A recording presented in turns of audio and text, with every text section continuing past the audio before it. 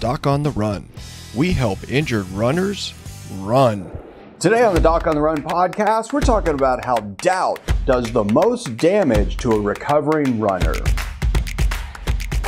All right, now listen. Doubt comes from confusion, and confusion leads to paralysis when you've been injured and you don't know what to do to maintain your running fitness.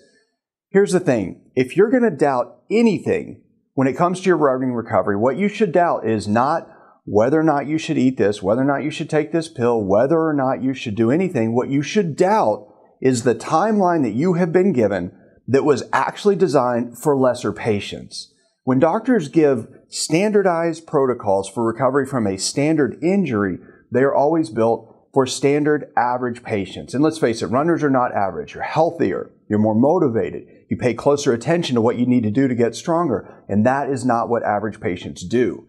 So when you get a timeline that's not really designed specifically for runners, it will hold you back predictably.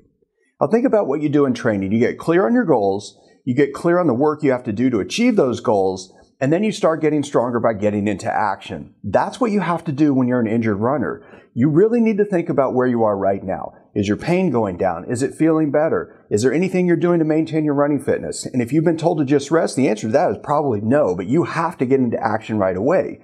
So the way to do that is to get clear on your goals. You need to pick a timeline that is actually based on goals of activity, not waiting. Not waiting for an x-ray, not waiting for some blood test, not waiting for your next appointment with a doctor, but figuring out what are the things that you can do right now that will not put stress on the injured tissue, that will help you maintain your running fitness right now. If you do not do that, you will not get back to running faster. And when you do get back to running, what's going to happen is you're going to be running a whole lot slower predictably because you're losing all your fitness while you're just sitting around waiting. All of that waiting is a result of doubting what you can do. You have to focus on the stuff that you know works. You need to focus on your sleep, focus on your nutrition, and focus on getting stronger, not waiting while everything gets weaker. Now, if you enjoyed this episode, please like it, please subscribe, please share it with somebody who's a runner who needs to hear it, and I'll see you in the next training.